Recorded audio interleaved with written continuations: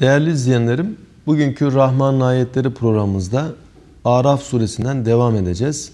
154-156. ayetler arasını değerlendireceğiz. Burada Hz. Musa'nın kavminden 70 kişiyi seçip e, Tur Dağı'na gitmesi ve bununla alakalı bazı durumlar bize bildirilmekte. Şöyle ki وَلَمَّا سَكَتَ عَنْ مُوسَى الْغَدَبِ Musa'dan e, öfke dindiğinde, sükut ettiğinde ahazel elvah levhaları eline aldı. Ve fi nüshatihe ve onların nüshasında huden ve rahme bir hidayet, yol gösterme ve rahmet var. Lillezinehum li rabbihim yerhabun Rabbinden korkan kimseler için onların nüshasında e, hidayet ve rahmet bulunmakta. Burada e, evveliyle alakası olduğu cihetle kısaca ifade etmek istiyorum. Musa aleyhisselam e, Tur Dağı'nda Cenab-ı Hakk'ın münacatına mazhar oldu. Kendisine Tevrat verildi ve e, döndüğünde kavmi e, buzağıya e, ibadet eder vaziyetteydi. Onları görünce, bu vaziyette görünce e, başta kar, kardeşi Harun'a hesap sorma tarzında e, onlarla konuşmaları oldu. Ama kardeşi Harun mazeret beyan etti. Yani ben elimden geleni yaptım ama onlar beni dinlemediler. Neredeyse beni öldüreceklerdi dedi. Ve Hz. Musa da neticede yatıştı. Hz. Musa'dan gadap sükut ettiğinde burada e, ifade noktasında şu da dikkat çekiyor. Yani sanki gadap, öfke Hz. Musa'nın içinde ayrı bir şahıs gibi. Ve durmadan sanki konuşuyor. Herkes bunu az çok kendi vicdanında da hisseder. Çok öfkelendiğinde içinde birisi adeta konuşmaktadır. Vur, kır tarzında. Demek ki Hz. Musa da e, iman etmiş olan topluluğun, topluluğun kendi kavminin tutup da bir buzağıya tapmaları karşısında gerçekten çok öfkeleniyor ve kardeşinin başından tutup çekecek kadar, sürükleyecek kadar tepkisini ortaya koyuyor. Ama mazereti dinledikten sonra artık öfke yatışıyor. Musa'nın öfkesi yatıştığında yerdeki yere bırakmış olduğu Tevrat levhalarını onları aldı ve onların nüshasında e, hidayet var, insanlara yol göstermek var ve rahmet var. Cenab-ı Hakk'ın rahmetinin tecellileri var. Ama bunlar e, Rablerinden korkan, korkarak ibadetini yapan kimseler için. Vahtara Musa kavmehu seb'ine raculen limigatina. Musa kavminden 70 kişiyi e, bizim migatımız için yani e, Tur Dağı'na e, gelmeleri için seçtim. Bu da tabi e, ayrı bir e, durum olarak karşımıza çıkıyor. Yani bir nevi kavmi namına da daha e, onların temsilcisi durumunda kimseleri seçmek ve onlarla Allah'a beraber dua etmek. Yani bu da önemli bir noktadır. Peygamberimiz Aleyhisselatü Vesselam'ın nasıl ki yakın çevresinde seçkin insanlar var, seçkin sahabeler var. Hizmetlerini daha çok onlarla yapıyor. Hz. Musa da kavmi içinden 70 tanesini daha özel yetiştirmek için, daha böyle ibadette, takvada, e, Allah'ın dinini anlatmada daha iyi seviyeye gelmeler için onları seçiyor ve onları Tur Dağı'na götürecek. Günümüzde belki bu şu manada da değerlendirilebilir. Yani zaman zaman bu gibi programlar düzenlemek lazım. Yani 70 kişiyle, 40 kişiyle, 10 kişiyle 10 e, günlük program, 20 günlük program, 40 günlük program gibi programlar yapmak lazım. Dünyadan şöyle biraz ele tek çekmek, ibadetle daha ciddi meşgul olmak ve bunu yaparken de e, diyelim 70 kişiyle yapmak, 40 kişiyle, 10 kişiyle bu anlamda daha iyi yetişme şartları meydana getirip istikbale yönelik, istikbalde İslami hizmetleri yapacak kimseleri yetiştirmek gerekiyor. Ayet-i Kerime'nin böyle bir işari manasını da düşünebiliriz. İşte Hz. Musa Cenab-ı Hakk'ın migatı, huzurunda divan durulup ona ibadet edilmesi e, için Tur Dağı'na götürmek üzere 70 kişiyi seçti. فَلَمَّا أَخَذَتْهُمُ الرَّجْفَةُ Orada şiddetli sarsıntı onları yakaladığında Gale Hz. Musa dedi ki Rabbi ya Rabbi lev şi'te ehlektehum min qabl ve iyyay. Yani şayet dileseydin e, onları ve beni daha önceden de helak ederdin. Etuhlikuna bima faale sufaha'u minna İçimizde sefih olanların, akılsız, beyinsiz olanların yaptıkları yüzünden bizi helak eder misin Allah'ım? İnhiye illa fitnetuk. Bu ancak senin bir fitnendir, bir imtihanındır. İnsanları denemektesin. Tudillu biha men teşa. Bununla dilediğini saptırırsın. Ve tehdi men teşa. Ve dilediğine de hidayet verirsin. Ente veliyyuna. Sen bizim velimizsin. Fağfir lena. Bizi mağfiretine mazhar kıl. Varhamne. Merhametine mazhar kıl. Ve ente hayrul gafirin. Sen bağışlayanların en hayırlısısın. Burada e, demek ki taşkın bazı hareketleri oluyor o seçilen kimselerin. Tarafı ilahiden bir e, ihtar, bir uyarı olmak üzere e, onların bulunmuş olduğu tur dağı şiddetli bir zelzeleyle sarsılıyor.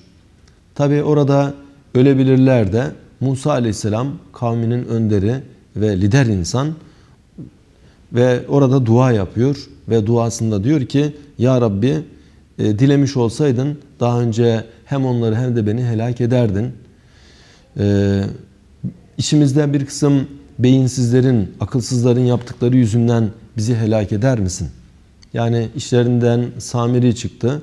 İşte bir buzağı heykeli yaptı. Kavmi buna ibadet etmeye başladı. Bazıları öncülük yaptı. Dalalette öncülük yaptı. Diğerleri de uydu. E bundan dolayı bazılarının yaptığı yüzünden Ya Rabbi bizi helak eder misin diyor. Bu diyor senin bir imtihanındır. İnsanları imtihan ediyorsun. Gerçekten insanlar doğrudan Allah'ı görmüyorlar. Ama Allah'a imanla mükellef bu insanlar. Allah'ı bulmak için bakıyorsunuz zaman zaman bir kısmı buzağa takılıyor. Bir kısmı başka bir puta takılıyor. Bir kısmı toteme takılıyor. Bir kısmı şahıslara takılıyor. Ve böyle olunca tarih boyunca insanlar az veya çok şöyle veya böyle bir şekilde Allah'ı bulmak yolunda yoldan çıkabiliyorlar. İnhirafta bulunabiliyorlar. Bir nevi e, asıl e, asla ulaşmak yerine gölgelerle meşgul olmak. E, bu manada pek çok gölgelere takılabiliyorlar. Necip Fazıl der ki e, ruhum uçmak isterken semavi ülkelere ayağım takılıyor yerdeki gölgelere. Perdeler hep perdeler her yerde her yerdeler. İşte gölge ilahlar. Yani aslında ilahlar diye bir şey yok. Ee, ve ma min ilahin illallah. Sadece Allah var. Allah dışında bir ilah söz konusu değil.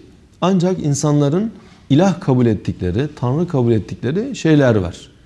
İşte bir Yunanlıların değişik tanrıları mitolojide bilinmekte. Ee, eski Türklerin yer tanrısı, gök tanrısı gibi e, tanrıları yine tanrı kabul ettikleri şeyler ortada. Günümüzde bir takım yerlilerin işte toteme tapmaları, bir takım ruhlara tapmaları, Hinduların e, diyelim e, ineğe tapmaları, Budistlerin e, Buda'nın heykeli karşısında ibadet etmeleri, bütün bunlar birer gölge, birer perde. İnsanlar bu perdelere takılabiliyor, bu gölgelere takılabiliyor. Allah'a ulaşmak için onlara kabiliyet verilmişken Allah'a ulaşmak yerine gölgelere ulaşıyorlar ve Allah adına bir nevi onlara tapıyorlar. Allah'a tapar gibi onlara tapıyorlar. Ve Hz. Musa duasının son kısmında diyor Ente veliyyüne sen bizim velimizsin. Sen bizim Mevlamızsın. Ente Mevlana o da başka yerlerde geçer. Nasıl ki çocuğun velisi çocukla alakalı e, bütün masrafları karşılar. Onunla alakalı her türlü gerekli şeyleri temin eder. Allah bizim velimiz, yar ve yardımcımız ve bizimle alakalı neye ihtiyaç varsa Allahu Teala e, taahhüt etmekte ve karşılamakta. Fağfir lena varhamna. Bizi mağfiretine mazhar kıl, bize merhamet et. Ve ente hayrul gafirin. Sen bağışlayanların en hayırlısısın. En güzel bir şekilde bağışlayansın. Cenab-ı Hakk'ın bir ismi de sabur, sabreden. Allahu Teala e, halimdir ve Allahu Teala saburdur. İşte dünyanın her tarafındaki insanlar hepsi Allah'ın kulu olmakla beraber onların Allah dışındaki şeylere tapmalarına da tabiri caizse tahammül ediyor. Ve sabrediyor, mühlet veriyor e, ve imtihan bu şekilde devam ediyor. Ve onlar hayatlarının son kısmına kadar hep batıl mabutlara da tapsa, son dönemde akıllarını başlarına alıp Allah'a iman etmiş olsalar onları bağışlıyor. En güzel bir şekilde bağışlayan. İnsanlarda kin tutmak olabilir. Yani birisini belki bağışlarsınız ama içinizde yine bir ukde kalabilir. Ee, Cenab-ı Hak en güzel bir şekilde bağışlayan. İşte Peygamberimiz dönemindeki e, bir kısım sahabeler evvelinde din düşmanıydı. Ve cahiliye dönemini yaşamışlardı. Ve istikametli bir hayatları yoktu. Ama Allahu Teala öyle bağışladı ki onlar sahabi oldular ve peygamberlerden sonra en seçkin kimseler haline geldiler. İşte Vahşi peygamberimizin amcasını şehit etmiş olan bir insan. Allahu Teala onu da bağışladı ve Vahşi İslam hizmetlerde faydalı bir kimse haline geldi. Ebu Cehil İslam'a çok büyük zarar vermişken onun oğlu İkrime Müslümanlardan oldu ve İslam'a büyük hizmetleri dokundu. İşte Allahu Teala hayrul gafirin en güzel bir şekilde, en hayırlı bir şekilde bağışlayan. Hz. Musa duasına devam ediyor. Vektub lana fi hadi dünya hasene. Bize dünyada bir iyilik yaz ve fil ahire ahirette de iyilik yaz. Yani Rabbena atina fid dünya hasene ve fil ahiret hasene o da bir duadır. Bir derece buna benzeyen bir dua. Yani Allah'ım e, dünyada bize hasene yaz, iyilik, güzellik yaz. Ahirette de bizim için iyilik, güzellik yaz. İnna hudna ileyk biz sana döndük. İnna hudna ileyk Yahudilere Yahudi denilmesi bu kelimeden geldiği bazı tefsirlerde ifade edilmekte. İnna hudna ileyk. Yani burada hudna Yahudi aynı kökten gelmekte. Bundan dolayı Allah'a dön, dönen anlamında onlara Yahudi denildiği e, bazı tefsirlerde ifade ediliyor. Cenab-ı Hak buna mukabil şöyle bildiriyor. Gale azabi usibu bihi men eşa. Benim azabıma gelince ben dilediğime o azabımı isabet ettiririm. Ve rahmeti vesiat külle şey, rahmetim ise her şeyi kuşatmıştır. Ektubuha lillezine yettagun ve ben onu, o rahmetimi sakınan, günahlardan sakınan kimseler için yazacağım ve yu'tune zekate ve zekatı verenlere.